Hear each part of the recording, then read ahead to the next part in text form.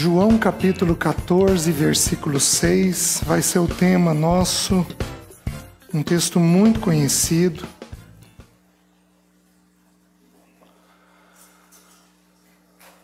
A palavra de Deus nos diz assim: Eu sou, respondeu-lhe Jesus, eu sou o caminho, a verdade e a vida. Ninguém vem ao Pai se não for por mim. Vamos todos juntos? Respondeu-lhe Jesus: Eu sou o caminho e a verdade e a vida. Ninguém vem ao Pai senão por mim. Eu queria partilhar entre hoje e amanhã sobre um tema que eu nunca partilhei da maneira que eu vou partilhar aqui num grupo como esse. Em geral, só em estudos menores. Eu queria partilhar sobre resolver conflitos, coisa que poucos de nós temos. Se eu pudesse considerar naturalmente falando, eu diria que é uma das lições mais importantes que os pais podem delegar aos filhos. Porque se tem uma coisa que nós vamos ter na vida, é problema. A gente tem problema de ordem conjugal, de ordem paternal, a gente tem problema é, com parentes de origem, com família de origem, a gente tem problema com dinheiro, a gente tem problema profissional, a gente tem problema de tudo quanto é ordem que você imaginar. E, infelizmente, nós temos pouca prática em resolver com maturidade esses problemas. Então, se há uma lição que precisaria ser essencial no nosso meio, seria a lição de resolvermos conflitos. Em geral, podemos nos enroscar num conflito que dure a vida inteira. E uma coisa é quando Deus põe um espinho na carne. Outra coisa bem diferente é quando a gente põe esse espinho. É muito diferente. O espinho na carne, de acordo com a palavra de Deus, ele vai durar uma vida inteira, ou pelo menos o período que Deus decretou. E ele tem a expressa finalidade de nos manter humildes diante de, do Senhor.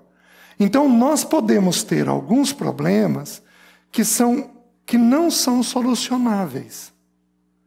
Então nós podemos ter algumas situações que o Senhor quer manter na nossa vida durante muitos anos, ou às vezes durante uma vida inteira. Mas uma coisa é quando o espinho veio da parte do Senhor. Ele pode até ser colocado pelo diabo, como foi no caso de Paulo, mas ele procedia do Senhor. Era o Senhor quem teve o intento de colocar aquilo. Outra coisa bem diferente é quando nós somos problemáticos. Nós somos barraqueiros, nós somos enroscados, nós somos divisivos, nós somos complicados. É outra coisa muito diferente. Isso não traz a glória do Senhor. Isso pode enroscar a vida de um casal durante anos. A gente pode amassar barro como os israelitas durante muito tempo num problema que nós simplesmente não sabemos o que fazer. Ou não temos a atitude correta para resolvermos. Né? Então, se o Senhor me permitir, eu quero estabelecer isso como, digamos assim, um tema meio geral. Porém, eu vou tomar esse texto que nós lemos, de João 14, 6, e eu, eu admito que eu vou reduzir o valor do texto. Porque eu vou tomar esse texto e aplicar nessa questão de conflitos. Vocês estão entendendo?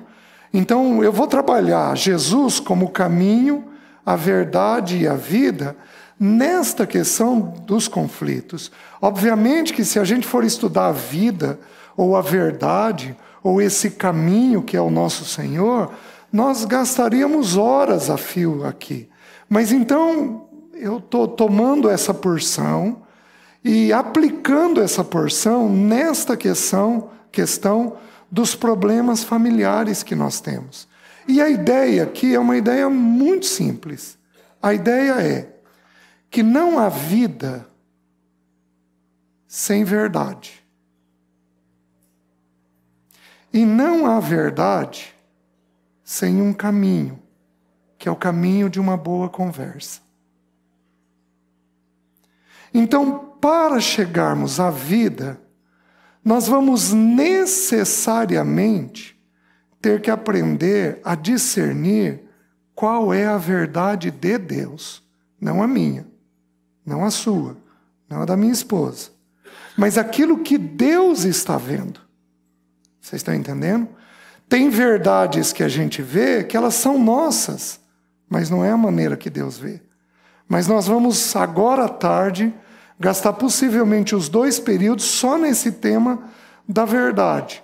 Então a ideia é, para a vida ser estabelecida, precisa-se de ter uma verdade. Sem a verdade, nós não conseguimos chegar na vida. Isso tem tocado alguns lares aqui, isso tem tocado a vida dos nossos filhos. Alguns dos nossos casamentos não gozam da vida porque não gozam da verdade da parte de Deus. Então a gente, em geral, tem duas pessoas com duas opiniões. Ou, em geral, você tem uma pessoa forte com uma opinião e uma pessoa anulada, sem opinião. É, em geral, assim que a gente tem os casamentos. E nós vamos entender, à medida que a gente for estudando, que esse não é o propósito de Deus. Então, nós nunca atingimos a vida conjugal se nós não atingirmos a verdade das nossas vidas. Os irmãos estão entendendo? Mais um princípio simples. Mas um princípio extremamente simples. Se a gente for, eu vou usar um exemplo natural. Se você pegar uma praga que existe no nosso país hoje, que é a, a droga, a drogadição, se você pegar as clínicas, você pode pegar a clínica cristã e você pode pegar a clínica ímpia, tá? Você pode pegar a clínica, a melhor clínica do país, uma clínica do mundo que não tem os princípios de Deus, quando um drogadito entra nela, a primeira coisa que esse drogadito vai aprender a fazer depois de passar por uma desintoxicação é fazer o quê? É falar a verdade.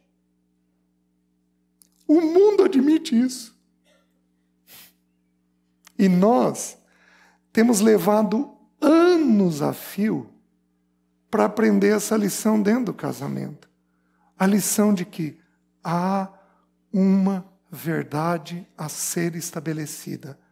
Não apenas a verdade de quem Deus é, mas em especial a verdade de quem nós somos. O salmista, no Salmo 36, versículo 9, não precisam abrir, ele diz assim: Na tua luz temos a luz.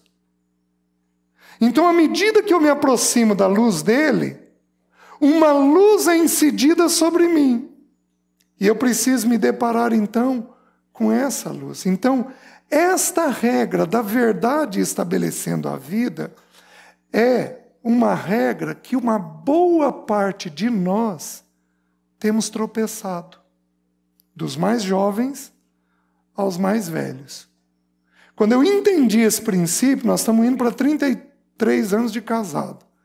Nós devemos ter aprendido esse princípio de um jeito mais elevado, como eu estou apresentando para os irmãos, há uns 10, 12 anos atrás. Mudou muito a maneira de nós conversarmos. Mas muito. Porque o alvo da gente é chegar nesta verdade que Deus vê. Porém, para chegarmos nessa verdade, nós temos um caminho um caminho. Eu estou reduzindo o valor do texto. De uma boa conversa. Então, alguns de nós precisamos aprender a sentar e a resolver os problemas que nós temos. Vocês estão entendendo? Resolver com graça, com clareza, da maneira certa, estabelecendo a verdade. E ao estabelecermos a verdade, gozarmos a vida de Deus. Então, eu vou fazer com os irmãos a ordem inversa do texto. Eu vou falar um pouquinho sobre a vida, depois, à tarde, muito possivelmente, nós vamos falar sobre a questão da verdade, e amanhã de manhã nós vamos falar sobre esse princípio da conversa dentro do casamento, certo? Então, essa é a ideia central. A palavra vida, no original hebraico, o português é uma língua um pouco infeliz, porque ela não traduz com exatidão as palavras para nós. Por exemplo, para a palavra amor, nós temos seis expressões no grego que são traduzidas para nós por amor. Mas para a palavra vida, nós temos três expressões no grego, que para nós é tudo traduzido por vida. Então o texto bíblico diz assim: a, a, as três palavras mencionadas vão ser bios, de onde deriva a palavra biologia, o estudo da vida natural, psique, é outra palavra que para nós é traduzida por vida, que significa o estudo da alma, aquilo que o ser humano é, a psique do ser humano, e a palavra zoe, que significa vida de Deus. Então, lá no Gênesis, quando nos é dito que foi plantado a árvore da vida, ali está no hebraico, mas a palavra ali representa a vida de Deus. Então era para a gente ter comido, para Adão ter comido, da vida de, de Deus. A palavra usada aqui é a vida de Deus. Só alcançamos a vida de Deus mediante essa verdade e mediante um caminho. Então a vida de Deus nos é estabelecida dessa maneira. Porém, eu vou trabalhar uma coisa nesse primeiro período que tem a ver com a vida para nós, tá? Entenda uma coisa: de Deus para nós, tudo inicia na graça. Por isso que o salmista diz que a tua graça é melhor que a vida. Mas de nós para Deus, tudo inicia no arrependimento. Então, o que eu gostaria de partilhar com vocês nesse primeiro período? eu queria falar um pouquinho sobre arrependimento, que é uma prática que deixou de existir com clareza no seio familiar. Você quer ver uma coisa? Você pecou esse ano contra o seu parceiro?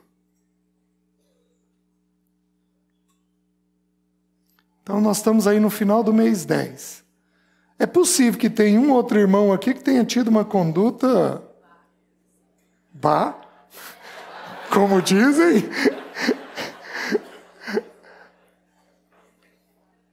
É possível?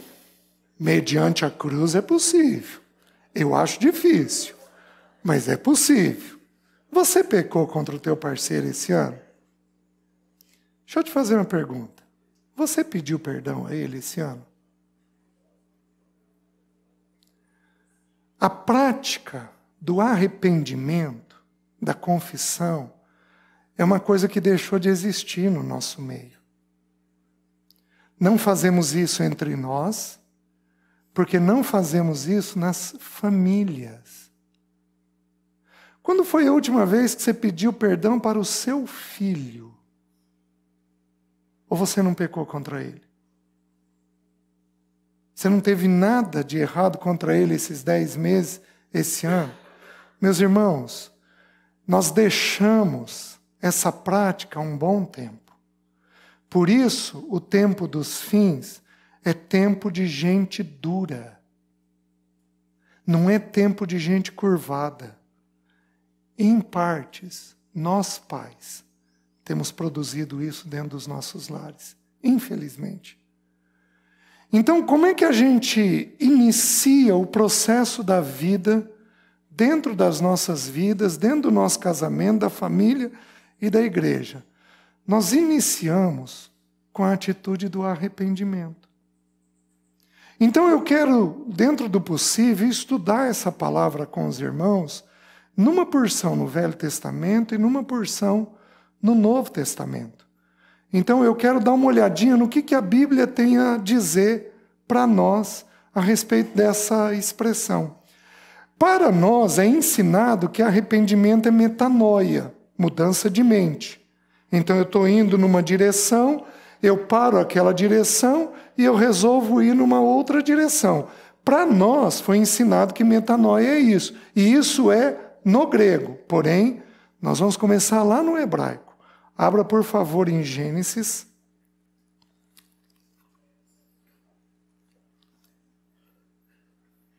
Capítulo 5.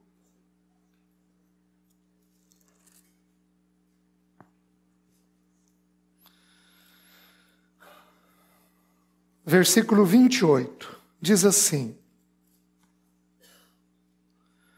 Lameque viveu cento e oitenta e dois anos e gerou um filho. Pôs-lhe o nome de Noé, dizendo: Este nos consolará dos nossos trabalhos e das fadigas de nossas mãos nesta terra que o Senhor amaldiçoou. Existe uma regra de interpretação das Escrituras que nos diz o seguinte: que quando uma palavra é usada pela primeira vez, o sentido daquela palavra fica mantido ao longo das Escrituras. Então, a primeira vez, vou dar um exemplo. A primeira vez que a palavra amor é mencionada é em Gênesis 22, 1. Abraão, dá-me teu filho, teu único filho, a quem amas vai-te à terra de Moriá e oferece-o ali em sacrifício. Então a palavra amor foi usada ali. Em qual contexto? O pai entregando o filho. Então, na Bíblia, amor vai ter qual sentido? O pai entregando o filho. Por isso que 1 João capítulo 4 nos confirma isso, dizendo assim: é, Deus é amor. É, ele nos amou primeiro.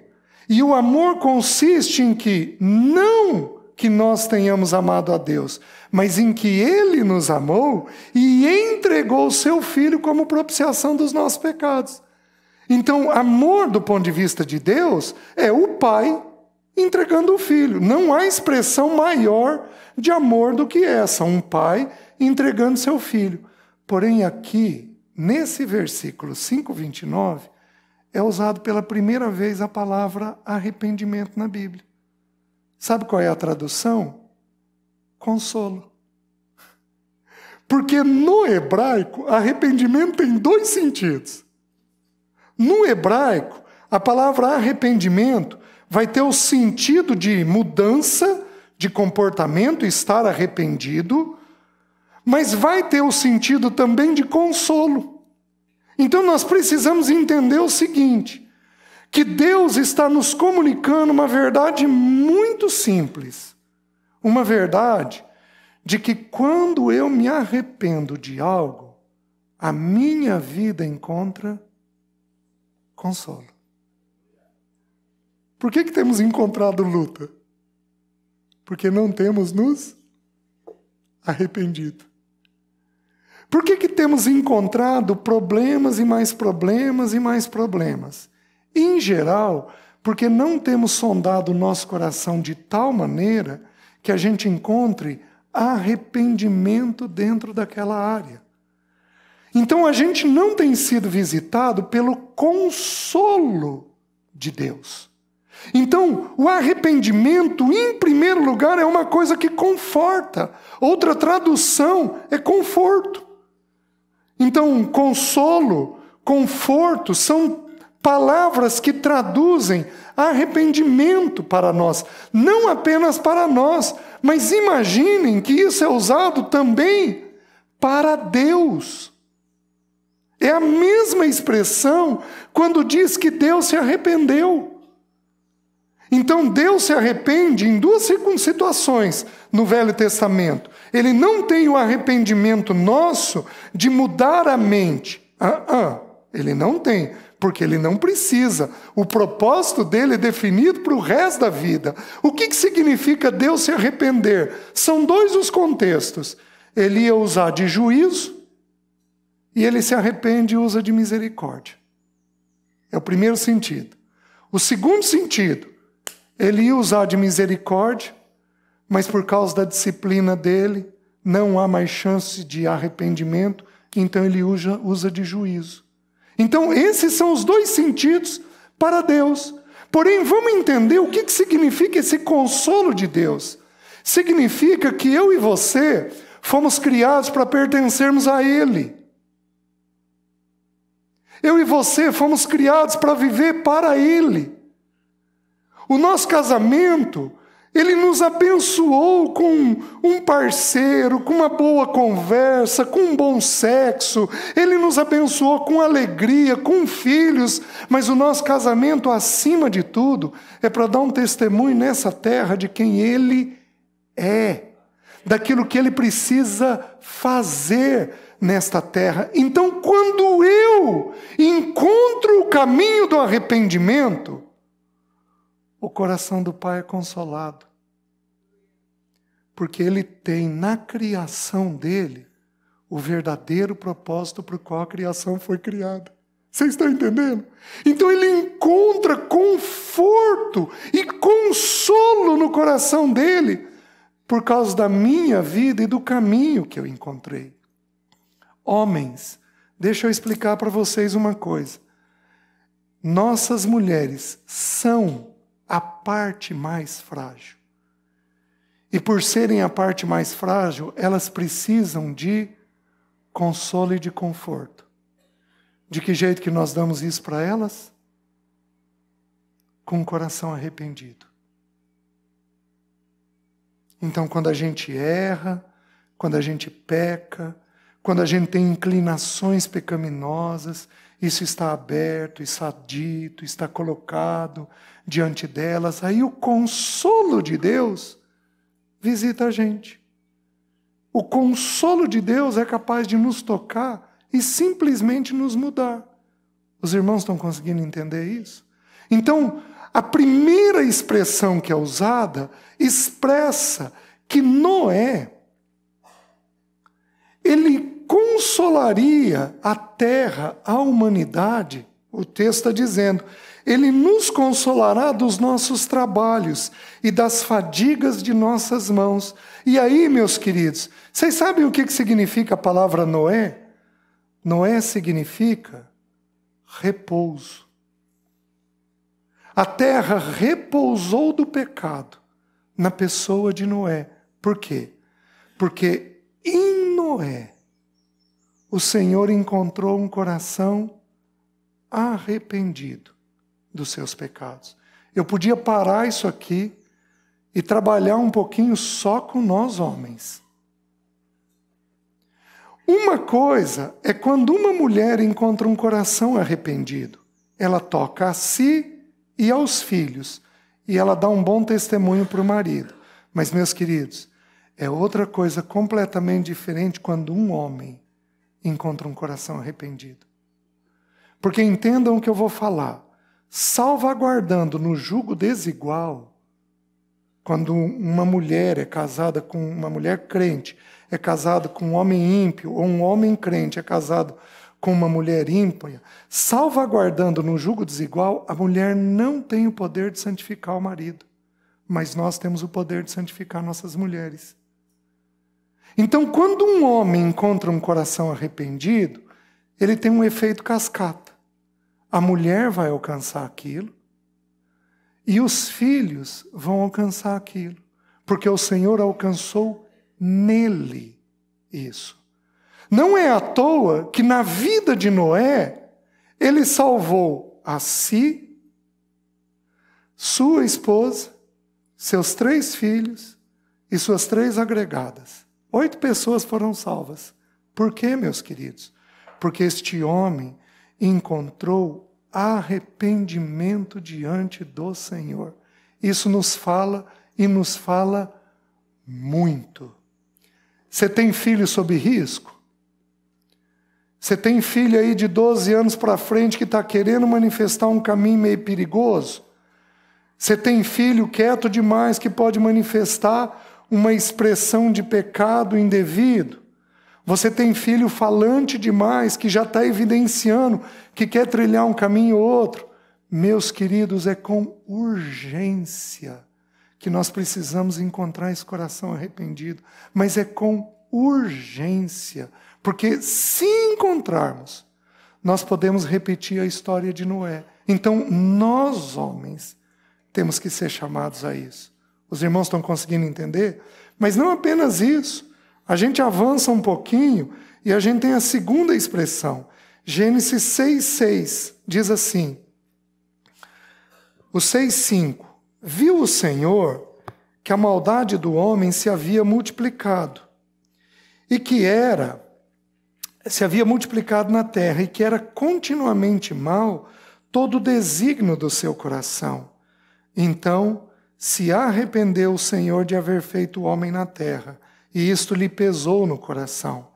Disse o Senhor: Farei desaparecer da face da terra o homem que criei, o homem e o animal, os répteis e as aves dos céus, porque me arrependo de os haver feito.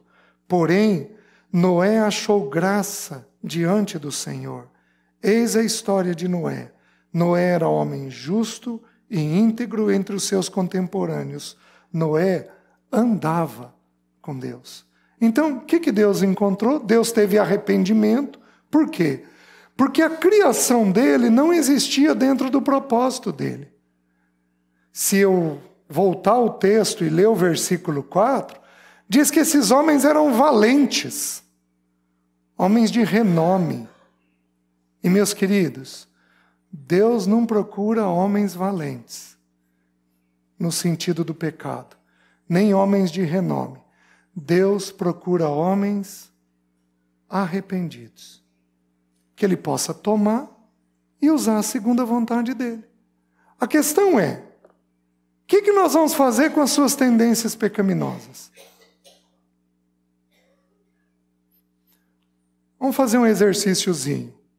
Homem, levanta na mente um pecado da sua esposa.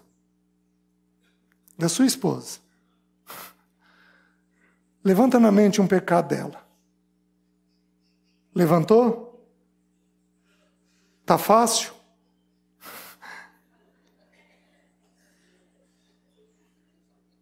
Vamos mudar. Levanta na mente um pecado seu.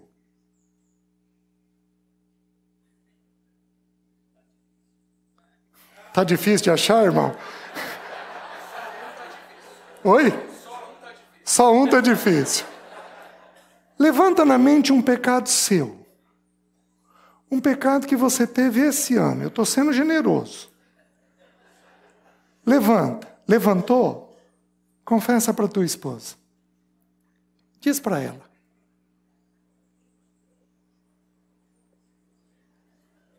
Tá difícil?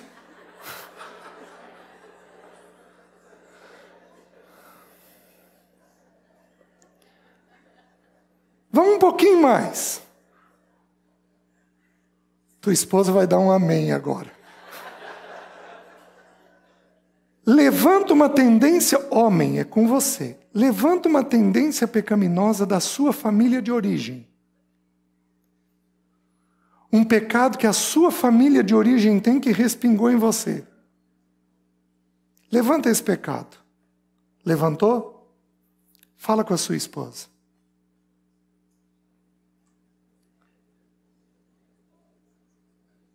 Meus queridos, como é que nós vamos?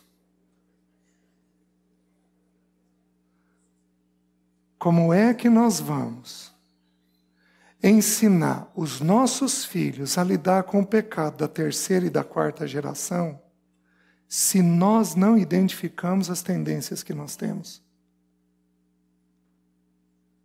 Em Cristo, toda maldição foi desfeita. É uma verdade. Mas também é uma verdade que pecado é aprendido. Por que, que alguns lares aqui o pecado é sexual? Por que, que outros lares aqui o pecado é de língua? Por que, que outros lares aqui o pecado é de um autoritarismo excessivo, seja da parte da mulher, seja da parte do homem? Porque em alguns lares aqui o pecado é da indiferença, da omissão. Por que, que em alguns lares aqui o pecado é da negligência, de não servir os seus, de não cuidar dos seus? Por que, que nós temos pecados, tendências pecaminosas? Porque nós aprendemos essas tendências no seio familiar. Como é que você pega um sistema familiar que tem problema com o trabalho e ensina um filho homem: menino, vem cá, você não vai repetir isso, não. Você teve avô preguiçoso, você teve tio preguiçoso, você não tem pai preguiçoso e nós vamos dar um jeito disso não repetir na sua vida. Como é que nós fazemos isso? Se nós não sabemos dar nome para as nossas inclinações pecaminosas. Eu não sei se os irmãos perceberam, eu fiz uma coisa que as Escrituras dizem. Eu separei o teu pecado atual das inclinações pecaminosas que você tem, das tendências. Há manifestações diárias de pecado em nós, mas existem também tendências pecaminosas dentro de nós, que, meus queridos, se nós não soubermos identificar, nós estamos sob risco. E o que acontece? As famílias não fazem mais isso. As famílias não viram e não avaliam o seu próprio sistema familiar, julgando o seu próprio sistema familiar. Meus queridos, se nós entendemos Segundo aos Coríntios, quando diz que todos nós compareceremos perante o tribunal de Cristo, e essa palavra tribunal é tirada de um original, que significa plataforma elevada, que significa o ancião da família, a pessoa mais velha da família, chamando toda a família e julgando a família. No tribunal de Cristo, o Pai Celeste estará diante de nós, nos chamando e nos julgando. Não será um tribunal para condenação, porque nós estaremos salvos, mas será um tribunal familiar. Um pai adequado julga os pecados da casa. Se Deus Pai fará isso, a melhor forma de comparecermos perante esse tribunal é quando nós, como homens, como mães, fazemos isso já. Julgando o nosso pecado já. Daí a beleza da ceia. Julgue cada um a sua própria vida, e assim coma do pão e beba do cálice.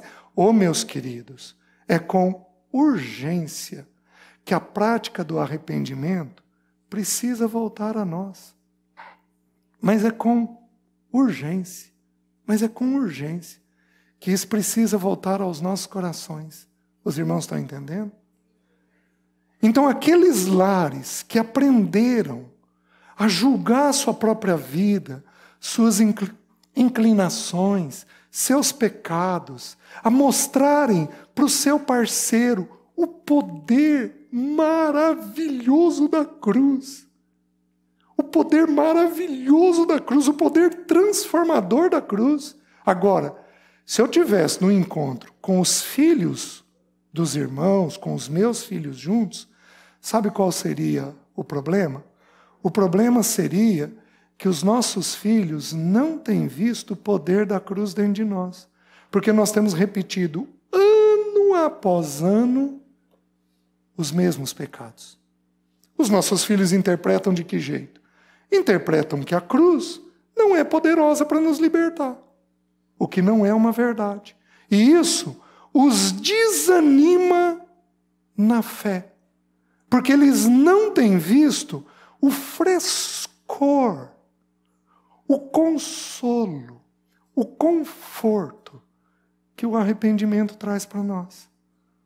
Os irmãos estão entendendo? Que o Senhor encontre Noés no nosso meio. Amém, irmãos? E que a gente busque este conforto este consolo para a glória do Senhor. Mas vamos um pouquinho mais. Abram no Novo Testamento. Deixa eu mostrar para os irmãos no Novo Testamento. Mateus, capítulo 3. A primeira vez que aparece a expressão. 3, 2. A palavra nos diz assim: Naqueles dias, eu vou ler um texto um pouquinho mais longo, porque eu preciso explicar um, um contexto para os irmãos. Naqueles dias, apareceu João Batista pregando no deserto da Judéia e dizia: Arrependei-vos, porque está próximo o reino dos céus. Porque este é o referido por intermédio do profeta Isaías, voz do que clama no deserto: Preparai o caminho do Senhor, endireitai as suas veredas. Usava João vestes de pelo de camelo e um cinto de couro, e a sua alimentação era gafanhotos e mel silvestre. Então saíam a ter com ele Jerusalém, toda a Judéia e toda a circunvizinhança do Jordão e eram por ele batizados no rio Jordão, confessando os seus pecados. Vendo ele, porém, que muitos fariseus e saduceus vinham ao batismo, lhes disse: Raça de víboras, quem vos induziu a fugir da ira vindoura? Produzi, pois, frutos dignos de arrependimento. Essa é a segunda expressão. E não comeceis a dizer entre vós mesmos: Temos por pai a Abraão porque eu vos afirmo que destas pedras Deus pode suscitar filhos a Abraão. Já está posto o machado à raiz das árvores. Toda árvore, pois, que não produz bom fruto, é cortada e lançada ao fogo. Eu vos batizo com água para arrependimento. Mas aquele que vem depois de mim é mais poderoso do que eu cujas sandálias não sou digno de levar. Ele vos batizará com Espírito Santo e com fogo. Limpará completamente a sua eira. Recolherá o seu trigo no celeiro, mas queimará a palha em fogo inextinguível. Por esse tempo, dirigiu-se Jesus da Galiléia para o Jordão, a fim de que João o batizasse. Ele, porém, o dissuadia, dizendo: eu é que preciso ser batizado por ti e tu vens a mim? Mas Jesus lhe respondeu: Deixa por enquanto, porque assim nos convém cumprir toda a justiça. Então ele o admitiu. Batizado Jesus, saiu logo da água, e eis que, de, e eis que se lhe abriram os céus, e viu o Espírito de Deus descendo como pomba vindo sobre ele. E eis uma voz dos céus que dizia: este é o meu filho amado em quem me comprazo.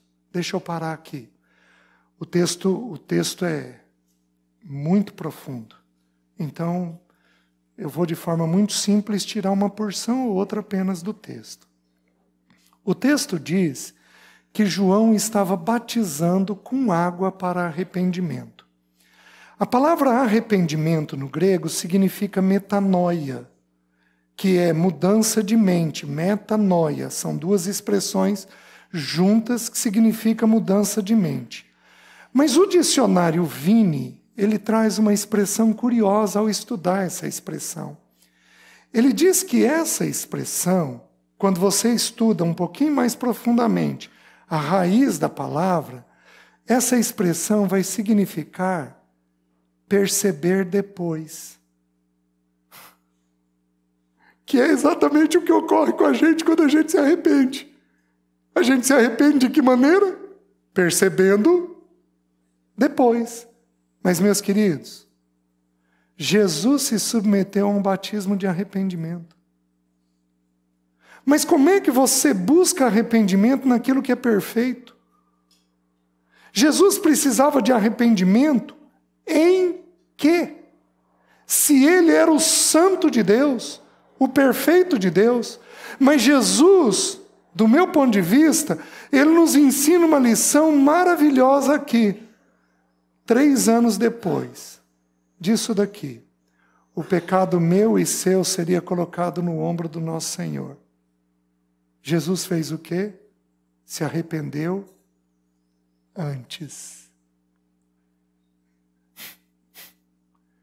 Aqui está a diferença quando nós entendemos as inclinações pecaminosas que nós temos. Eu vou explicar isso para vocês citando um texto. O texto de 1 João 1,9, que nós conhecemos bem, se confessarmos os nossos pecados, ele é fiel e justo para nos perdoar os pecados e nos purificar de toda injustiça. Eu vou separar esse texto para os irmãos. Quando eu confesso, ele perdoa o meu pecado, mas não apenas isso. Ele tira também a injustiça, ele tira aquela inclinação que o meu coração tem. Vocês estão entendendo? Eu venho de um lar com tendências pecaminosas. Meu pai teve algumas que eu herdei. Minha mãe teve algumas que eu herdei. Eu sou o primeiro convertido da minha casa. Um amigo meu diz que carne dura vem para a panela primeiro. então ele disse: César, essa é a tua história. Carne dura tem que vir antes. Tem que ficar mais tempo na panela. E eu, possivelmente, é bem assim mesmo. Né? E, e eu convivi com o pecado, Senhor ganhou meu coração aos 15 anos de idade. Aos 15 anos de idade eu já tinha inclinações pecaminosas, mas muito bem definidas dentro de mim. Quando você consegue, pela graça de Deus, queridos, eu não quero que você caia no que a Bíblia diz de genealogia. Não, porque o meu avô teve, o meu bisa teve, o meu tátara teve, então eu tenho que me arrepender do pecado deles. Isso daí é bobagem, isso daí não existe. O que existe é nós discernirmos as tendências pecaminosas que nós temos e nos sujeitarmos à cruz do nosso Senhor. Então não é para ninguém começar aqui a fazer genealogia. Não, é para você entender as inclinações pecaminosas que foram aprendidas desde a infância, porque todos nós os tivemos. Alguns dos irmãos aqui foram, nós fomos colonizados, o sul foi colonizado por europeus. Alguns dos irmãos aqui são rígidos. E uma rigidez que beira o legalismo. Isso é pecado, porque isso fere frontalmente a graça de Deus. Alguns dos irmãos aqui são trabalhadores em excesso, trabalham demais, servem demais, e isto é pecado, porque o serviço é uma expressão da nossa vida mas não é a única expressão. Os irmãos estão entendendo? Algumas irmãs aqui são feridas, machucadas. Algumas irmãs aqui têm medo, não que os homens não tenham, têm medo, são assustadas e não conseguem desenvolver o amor. Por quê? Porque o pecado do, porque o medo, o sentimento do medo atingiu um ponto que gerou um pânico que gerou uma proporção tão grande dentro da mente. É, como diz 1 João 4, 8, no amor não existe medo, antes o perfeito amor lança fora todo medo. Ora, o medo produz tormento. Alguns de nós aqui, das irmãs, são tomadas por um medo que virou tormento, e aí elas caem em pecado. Qual pecado? O pecado de não amarem não tem um amor adequado por seus filhos, por seu marido. Por quê? Porque o medo impede.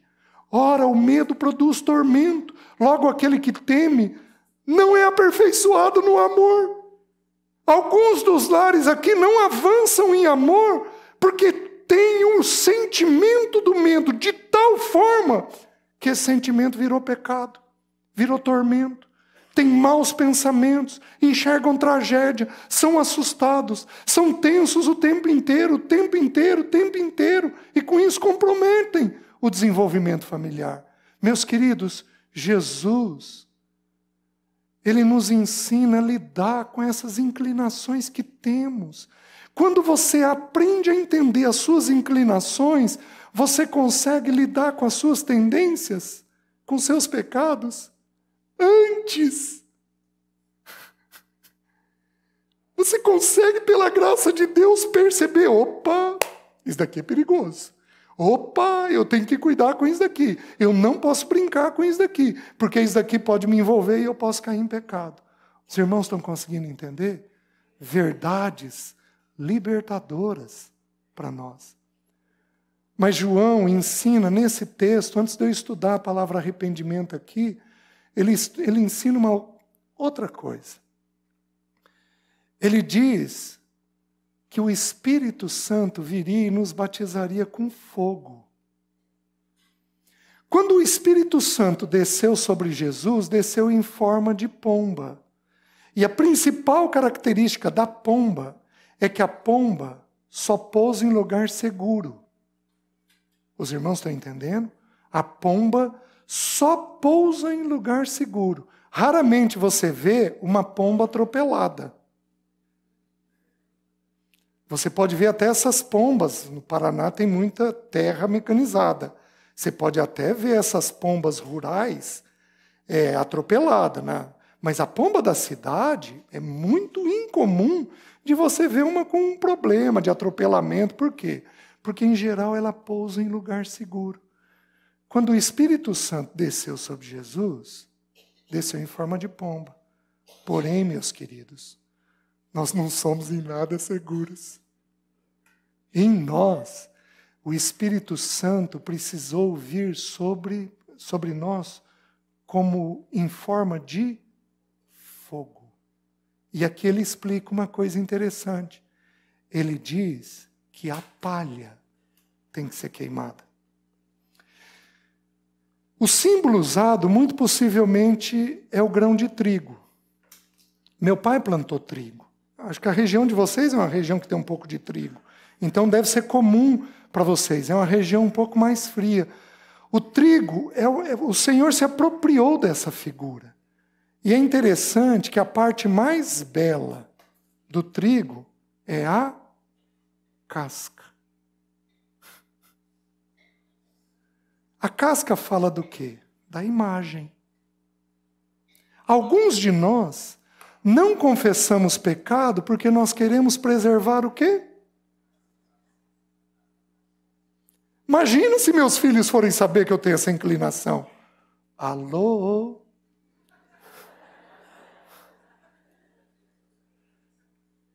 Você acha que teus filhos não sabem? Ele pode não ter te dito. Mas você acha que ele não sabe, especialmente se ele tiver acima de 12 anos? Aliás, uma das coisas que Deus faz conosco, às vezes, é usar os nossos filhos para ministrar a nós. Ele usa os nossos filhos para ministrar a nós. O inverso é que deveria existir. Mas eles não são só filhos, eles são também irmãos. E eles podem, então, diante de Deus, nos trazer palavras que vêm do trono do Senhor Papai, o senhor tem tal tendência, mamãe, a senhora tem tal tendência. E quando nós não julgamos os nossos pecados, é isto que eles vão tender a fazer conosco. Meus irmãos, nós precisamos parar de proteger a nossa imagem. Nós queremos a todo custo proteger a nossa imagem. E eu vou falar uma coisa para vocês. Se tem alguém no nosso meio que cuidou da imagem, fui eu até que o Senhor se encarrega de desfazer ela e de mostrar quem de fato a gente é. Nossa, eu tinha preocupação com isso. Hoje isso mudou. Eu tenho que preocupação com a glória do Senhor. E como é que eu vou esconder uma coisa que o meu pai sabe? Como é que eu vou esconder uma coisa que meus filhos veem? Então nós precisaríamos parar de nos proteger e deixar o fogo de Deus, o bendito Espírito Santo de Deus, queimar essa imagem abestalhada que a gente criou. Essa imagem que não consiste na verdade da parte de Deus. Precisaríamos, com urgência, fazer isso. E aqueles que estão aqui, que têm filhos pequenos, vocês vocês estão eu digo isso com toda a humildade do mundo, vocês estão recebendo um privilégio. Porque alguns de nós aqui estamos ouvindo essa palavra pela primeira vez. Com um pouco mais de clareza. Alguns de nós aqui, meus queridos, nunca nos deparamos com mais clareza com esse tema. A gente tem aqui na mente, mas nunca se permitiu trabalhar ele. Vocês têm um privilégio da parte de Deus de estabelecerem uma atitude de arrependimento desde cedo. Porém, o que, que esse texto nos ensina sobre a palavra arrependimento? A primeira, primeiro versículo 2 diz assim: Arrependei-vos, porque está próximo o reino dos céus. Meus queridos,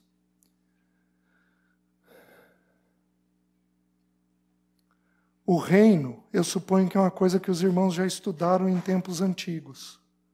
Pelo menos eu conheço irmãos daqui que já me mencionaram isso. Acho que os irmãos tiveram Christian Shen aqui já. Foi um estudo que o Christian Shen estudou muito no nosso país. O reino dos céus é um, é um assunto que eu espero que seja um pouco mais claro. O reino dos céus é diferente do reino de Deus.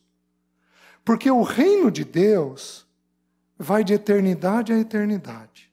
Ele é sempre eterno, como diz Jeremias. Ele não tem início e ele não tem fim. Mas o reino dos céus teve início e vai ter fim. O reino dos céus é quando os céus desceram a nós. Quando foi que isso aconteceu? Na encarnação do nosso Senhor. Quando Jesus encarnou, os céus vieram a nós. No livro de Marcos, quando Jesus ora nessa passagem, o texto diz que os céus são abertos e que o Espírito de Deus desce ao nosso Senhor. Os céus nos foram abertos na bendita pessoa do nosso Senhor. E quando é que este reino será encerrado, o reino dos céus? Quando, de acordo com 1 aos Coríntios, o nosso Senhor sujeitar todas as coisas aos seus pés, e ele então devolver ao rei, o reino ao Deus e Pai. Quando ele completar tudo, a morte será vencida, Satanás será vencido, a última batalha existiu, tudo está completado, então o Filho devolverá o reino. Meus queridos, no Novo Testamento, nós temos que entender uma coisa simples. Ele veio e ele virá. Nossos filhos têm que ouvir isso. Meus queridos, não estou te preparando para mim. Não estou te preparando para o trabalho. Não estou te preparando para um salário. Não estou te preparando para o casamento. Estou fazendo tudo isso mas acima de tudo, eu estou te preparando para o teu Deus, que um dia virá, virá te buscar. E você então prestará contas diante dele. Então, no Novo Testamento, a palavra arrependimento tem a ver com um rei. Nós cantamos que nossa vida foi comprada por preço, que não somos de nós mesmos. Uma forma que eu aprendi de apresentar esse evangelho para os meus filhos é que eles têm uma dupla paternidade. Até um período, eles são meus e apenas meus. Eles não têm entendimento completo de Deus Pai. Mas eu estou preparando eles para um pai. E isso inicia aos 12 anos de idade. O que, que Jesus respondeu? Maria e José chegam para ele. O que, que Jesus diz? Ô filho, você não sabia que eu e teu pai apreensivos estamos à tua procura? Vocês não sabiam que me convinha estar na casa de meu pai? Filho, vem cá.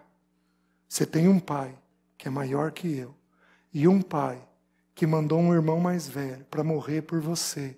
E um pai diante de quem eu e você estaremos para prestar contas. Este pai é gracioso, é amoroso, é gentil, é dócil, e que atitude nós vamos ter diante desse Pai? Uma atitude de arrependimento.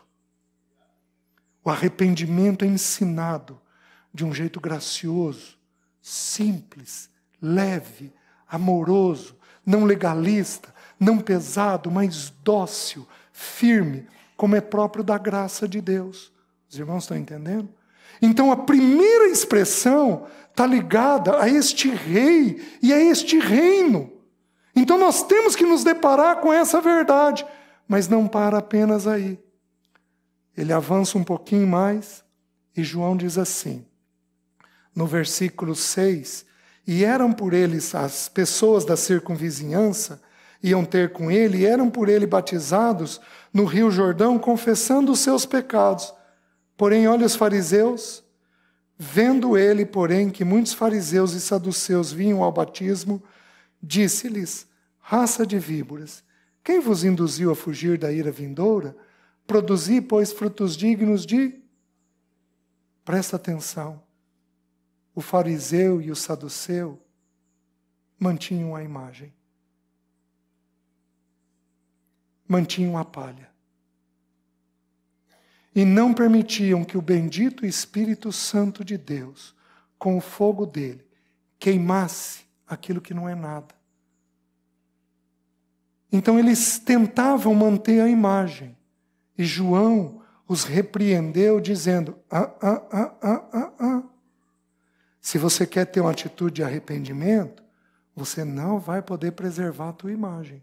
Você tem que admitir quem você é. Meus queridos, eu sou um filho de Deus, eu, César, hoje, sou um filho de Deus, resgatado pela graça do Senhor, caminhando em santidade, buscando o Senhor. Mas eu também sou um pecador. Eu tenho inclinações dentro de mim. Se você tirar Cristo de dentro de mim, vai sobrar um homem beirando a loucura. Sobra um homem altamente indisciplinado. Sobra um, sobra um homem compulsivo em várias coisas da vida: comida, compra, sexo. Vai sobrar um homem compulsivo, extremamente complicado diante de Deus. Eu sei dizer exatamente quem eu sou, porque este evangelho alcançou o meu coração e eu fui parando de preservar a minha imagem. O melhor que existe em mim não é meu. É daquilo que o Espírito fez em mim. Porque toda boa dádiva e todo dom perfeito vem do Pai das luzes, em quem não há sombra de variação. Eu sou pecador vendida à escravidão do pecado. E eu sei dar nomes para as minhas tendências pecaminosas. Meus queridos, que salvação tem sido isso. E não basta eu saber isso. Eu tenho que permanecer nisto. Eu tenho que permanecer sujeita à obra da cruz nisso, Senhor me guarda, Senhor, me guarda, Senhor, me guarda, Senhor, não deixa tal coisa acontecer, Senhor, não deixa tal coisa acontecer, em nome de Jesus. Os irmãos estão entendendo? Então, você tem que se deparar. Agora, eu já vou encerrar. Quais são os quatro frutos? Eu vou mostrar para os irmãos nas Escrituras os frutos dignos de arrependimento. Quais são os quatro frutos que nós precisamos man manifestar de arrependimento dentro da nossa vida? Abram em Provérbios, capítulo 28, versículo 13. O texto diz assim: O que encobre as suas transgressões jamais prosperará, mas o que as confessa e deixa alcançará misericórdia. Dois frutos aqui. Primeiro, Pecado precisa ser confessado. Não tem jeito. Pecado precisa ser confessado. Mas ele não, ele não pode ser apenas confessado, ele tem que ser confessado e deixado. Mas o que confessa e deixa alcançará misericórdia. É muito interessante, o pecado nos estragou muito. Porque nós temos mais preocupação com o que o parceiro vai pensar de nós do que o Deus pensa de nós. E aí Deus amarrou a gente numa regrinha simples. Ele diz que eu sou perdoado quando eu confesso a Deus, mas que eu sou curado quando eu confesso ao outro. Aí Tiago vai dizer uma verdade simples. Confessai, pois, as vossas faltas uns aos outros e orai uns pelos outros para serdes. Não tem jeito. E aí o texto continua, Tiago 5,16. E aí o texto continua e diz assim: Muito pode, por sua eficácia, a súplica de um justo. Meus queridos, nós precisamos, nós vamos ter aqui no nosso meio irmãos que naquela área que a gente peca são irmãos íntegros, corretos, santos. Oh, meus irmãos, nós precisamos procurar os justos no nosso meio. Irmão, vem cá, eu preciso me abrir. Se você não tem liberdade de falar com sua esposa, então calma, procure um irmão, um irmão sigiloso, quieto. Aliás,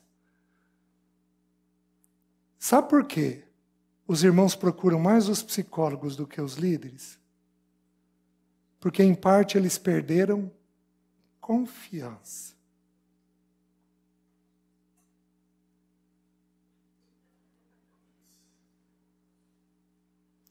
Então, que isso seja um alerta para nós, os líderes. Vocês estão me entendendo? Porque a gente precisa de irmãos justos e de confiança para a gente poder se abrir. Eu acho que vocês já ouviram, mas eu vou contar muito rapidamente. Eu me converti aos 15 anos de idade. E eu tinha muitos problemas, mas muitos problemas. Né? E pela graça de Deus, é, é, eu comecei a namorar a Alessi, nós namoramos seis anos longe, eu estudava longe. É, e a Alessi foi, Alessi foi criada no Evangelho, mas ela era uma mulher diferenciada. E ela foi me ensinando a lidar com a verdade. E eu fui abrindo a verdade. Mas teve uma determinada ocasião, eu devia estar aí com uns, não sei, talvez uns 25 anos de idade. Eu fui para um acampamento de jovens no carnaval e, meus irmãos, eu estava num momento muito bom com o Senhor. E aquele acampamento a gente tinha 220 jovens, eu lembro até hoje. E tinha gente pelas tampas no acampamento, vazando pelo ladrão. Então, e foi um acampamento que eu fui partilhar. E a Alessi foi cuidar de um quarto de meninas e eu dormi com os engradados de Coca-Cola. E aquele lugar virou a antessala do céu mas a antessala do céu. E aí, uma determinada noite, era um acampamento de carnaval, durava cinco dias. Uma determinada noite, eu pus o joelho no chão e o Espírito Santo falou comigo: César, anote aí, você tem cinco pecados. Você tem problemas na tua vida sexual. Você tem problemas na tua vida financeira. Você tem problema com mentira. Você é excessivamente bravo na sua casa. Seus filhos têm medo de você. E você não gasta tempo comigo. Meus irmãos, cinco pecados. E aquilo foi confirmado no meu coração ao longo dos dias. Eu cheguei na terça-feira de carnaval em casa, olhei para a Leci e falei: amanhã eu falo com ela. E esse amanhã passou um ano e três meses. Nós vamos estudar daqui a pouco sobre isso. Tá bom. Fui num outro acampamento, dessa vez um acampamento no meio de semana que eu e mais alguns pastores em Maringá estávamos organizando para os pastores. E nós chamamos um irmão que pastoreava pastores, um velhinho chamado Alan MacLeod. Ele já está com o Senhor hoje. E esse irmão abriu 2 aos Coríntios, capítulo 4, e ele começou a falar sobre o despenseiro de Deus. E como nós somos escravos do Senhor, meus irmãos, ele foi falando e o céu abriu. E o Espírito Santo virou para mim, pega um papel, pega uma caneta, e falou a mesma coisa. o Espírito Santo não podia me passar para o segundo ano se eu não tinha cumprido as tarefas do primeiro. Pega um papel e anota aí. Cheguei em casa, olhei a Leci e falei: tem reunião de oração depois da reunião de oração. E passaram-se mais quatro meses. Fui para uma reunião da igreja. Nós estávamos construindo o local de reunião, então a gente estava reunindo num lugar apertadinho. Veio um grupo de outra cidade que eu nunca tinha visto na vida. O irmão que estava tocando o teclado parou a reunião, a igreja lotada. Parou a reunião. No meio da reunião ele vira e diz: Tem um irmão aqui que o Senhor está pedindo para ele falar alguma coisa. E eu queria que esse irmão viesse para frente para orar por ele. Bom, eu afundei na cadeira. Preservando a palha. Olha o meu raciocínio na época. A igreja tem um pastor e um presbítero. Quem era o presbítero? Eu. Eu vou levantar e vou lá na frente. Meus irmãos, ele falou uma vez, falou duas vezes, falou três vezes. E eu continuei quietinho no banco. Tá bom. No dia seguinte, fui comer na casa do meu melhor amigo. Esse amigo virou para mim e falou: César, sonhei com você essa noite. E meus irmãos, a regra é quando o grupo ri, é porque está todo mundo entendendo, viu? Sonhei com você essa noite, e aí a minha espinha dorsal gelou. O que, que você sonhou, Solano? Meus irmãos, vê se não é o Senhor. Sonhei que eu e você estávamos numa batalha e que você morria.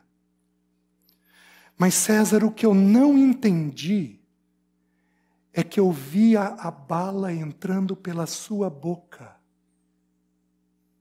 Gente, Deus é Deus. Cheguei em casa, olhei para a Leci e falei: amanhã cedo. Deus é Deus, mas eu sou eu.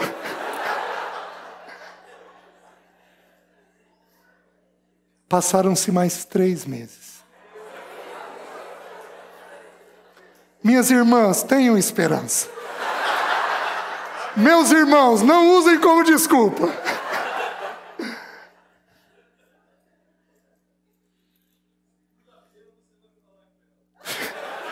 Segunda-feira, meus queridos, meu filho teve um problema quando tinha dois anos e aquele problema foi muito grave. E aquele problema estava teve um problema de saúde muito grave. Naquele fim de semana, era dezembro, meu filho voltou a ter o problema. Ele teve um sintoma do problema.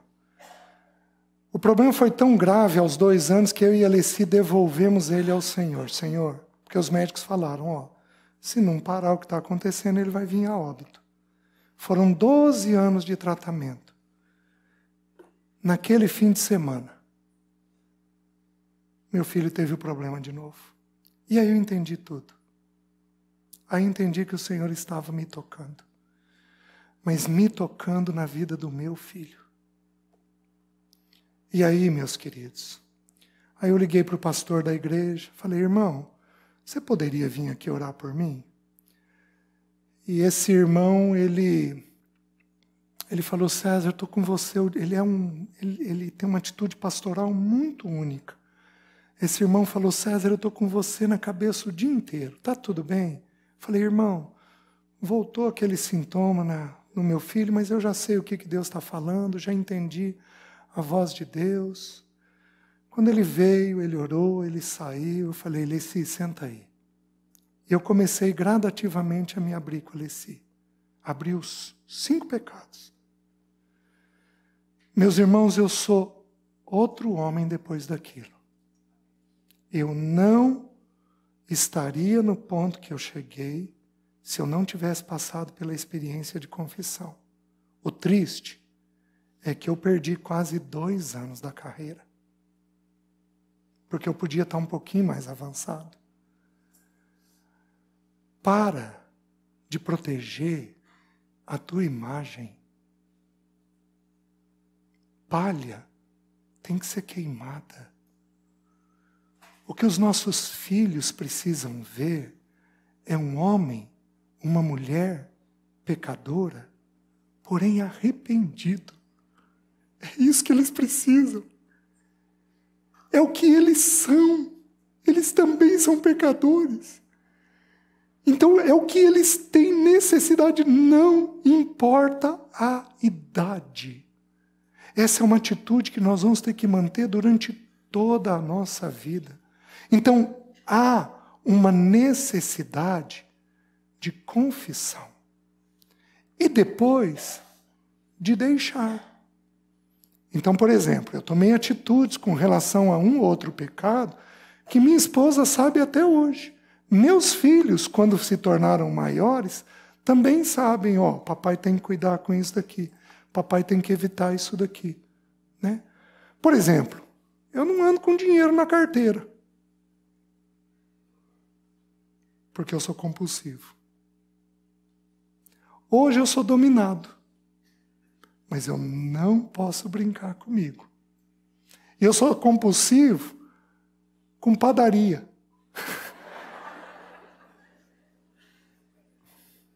Passei muita vontade de comer coisa na faculdade. Nossa! Aí não passo mais vontade. Mas pecando. Isso também está errado. Aliás, comida é tema de ansiedade. Jesus falou: não andeis ansiosos quanto ao que a vez de. Meus queridos, a gente aprende a tomar posição diante de determinados assuntos na nossa vida. Então você tem que confessar e aí então tomar atitudes de deixar. Agora eu preciso fazer um alerta, especialmente para os homens. Tenham sensibilidade. Não vai virar para tua esposa, senta aí. Preciso te contar de cinco adultérios ao longo da minha vida. Você não vai fazer uma coisa dessa. Você, por favor, não vai falar com ela grávida, não vai falar com ela num ciclo menstrual. É, você, por favor, tenha sensibilidade, né? Você, por favor, se for um pecado mais delicado, procure um irmão mais velho, um irmão de segurança, um justo, abre com ele, ora com ele, busca textos bíblicos sobre aquilo, e então, no tempo certo, na hora certa, vai lá e começa a abrir os seus pecados, né? As mulheres, as irmãs, vocês têm um pouco mais de facilidade do que nós. Vocês lidam com dor muito mais cedo. Então vocês têm mais coragem de dizer o que está ocorrendo com vocês. Deem um bom modelo para nós. Havendo um pecado vão, confessem, querido, ó, minha casa tem essa inclinação, eu também estou repetindo esse pecado, eu preciso do trabalhar da cruz em mim. Então, vamos começar desse jeito.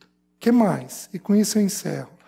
Terceiro é, fruto de arrependimento. Esses são, os dois são bem rápidos. Romanos capítulo 6, versículo 20 e 21.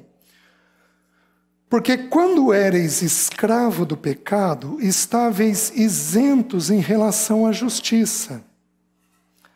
Naquele tempo, que resultado colhestes? Somente as coisas de que agora vos envergonhais, porque o fim delas é morte. Terceira atitude, vergonha. Nós somos constrangidos em vergonha. O Espírito Santo nos ensina a ter vergonha. A gente não é altivo, a gente não se defende, a gente tem vergonha daquilo que a gente fez. A vergonha é diferente do remorso. A palavra arrependimento e remorso precisa ser estudada. A palavra remorso, ela vai aparecer só cinco vezes no Novo Testamento. E a situação mais clássica é de Judas. A palavra remorso significa estar preocupado posteriormente com alguém ou algo. Judas quis preservar a imagem, a palha a casca, ele ficou preservado com a imagem que iam ter dele. Isso é remorso. No arrependimento, a gente tem vergonha. A gente tem aquela atitude que Jesus ensinou daquele homem orando e batendo no peito: Senhor, tem misericórdia de mim, porque eu sou pecador. Então a gente não tem medo de dizer, queridos, eu tenho pecado, esses pecados entraram em mim, eu preciso aprender a lidar com esses pecados. E a gente passa a ter vergonha por isso daí. A tradução da palavra vergonha no grego é vergonha. É quando a gente tem essa atitude. E a última coisa, o último fruto, segundo aos Coríntios, capítulo 7, versículo 10, um texto muito conhecido. Ele vai dizer, segundo aos Coríntios 7, 10, ele vai dizer assim: porque a tristeza, segundo Deus, nos conduz ao arrependimento que a ninguém traz pesar, mas a tristeza, segundo o mundo, produz morte. Meus queridos, há uma tristeza que é segundo Deus. E hoje a gente precisa tomar muito cuidado, porque hoje nós queremos dar nome para tudo. A gente interpreta tristeza como depressão. E a tristeza é uma fase anterior. Se a pessoa não cuidar, ela pode até deprimir. Mas a tristeza é um sentimento natural da vida e deveria ser um sentimento natural da carreira cristã. Porque quando Deus nos visita, nos comunicando algo que está errado, você vai acordar com qual emoção? A emoção da tristeza. Porque a tristeza, segundo Deus, nos conduz ao arrependimento que a ninguém traz pesar. Alguns homens aqui, eles têm esse sentimento. Eles têm o sentimento de errarem e de se sentirem tristes com aquilo que fizeram porém eles não têm o fruto da confissão, eles não conseguem ir até a sua mulher e dizer: querida, vem cá, eu estou extremamente envergonhado, eu estou triste daquilo que eu fiz, me perdoa. Eles não conseguem avançar nos outros frutos. Então ele tem a tristeza, tem a vergonha, o que já é louvável, mas não é o suficiente. Nós precisamos ter a confissão e o deixar. O que encobre as suas transgressões jamais prosperará, mas o que as confessa e deixa alcançará. Por isso que o confessar e deixar, ele é tão significativo, porque ali sedimenta que o arrependimento foi alcançado. Ele começa com a tristeza e com a vergonha. Mas existe uma tristeza que é segundo o mundo. Que tristeza é, que tristeza é essa? É a do remorso. É da preocupação com a imagem. Essa não é o que nós estamos procurando, porque no arrependimento o Espírito Santo vai queimar a palha. Amém?